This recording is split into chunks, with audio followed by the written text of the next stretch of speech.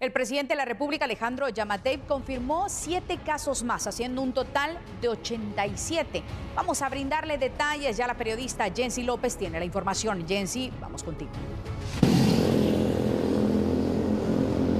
Gracias compañeros, buenas tardes a la audiencia.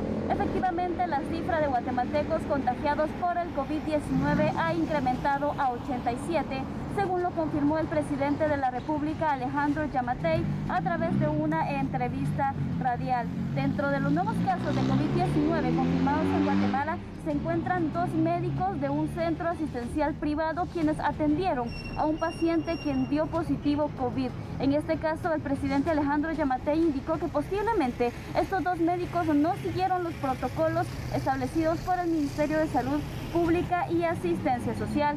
Asimismo, informó que dentro de los casos reportados también se encuentran personas que han viajado al extranjero. En este caso también se ha dado a conocer por parte de las autoridades que algunas de las personas que han dado positivo fueron trasladados hacia el parque de la industria. Información del Ministerio de Salud también detalla que el caso 81, 82 y 86 son de mujeres de 27 25 y 27 años de edad. Mientras, mientras tanto, el caso 83, 81, 85 y 87 son de hombres de 40, 30, 29 y 31 años de. De momento se reportan entonces 87 casos positivos de COVID-19 en Guatemala, 67 activos, 17 recuperados y 3 fallecidos.